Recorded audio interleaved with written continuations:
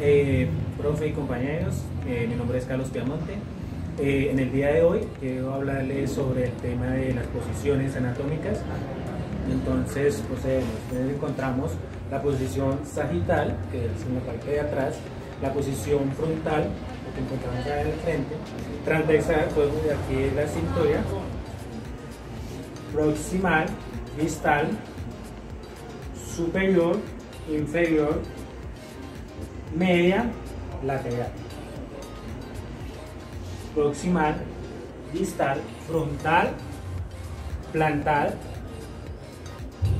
frontal, palmar. Vamos con las regiones de la cabeza. Entonces encontramos frontal, parental, occipital, temporal, eh, auricular, cerca del oído, y la región mastoidea. Algunas posiciones eh, anatómicas para esta clase.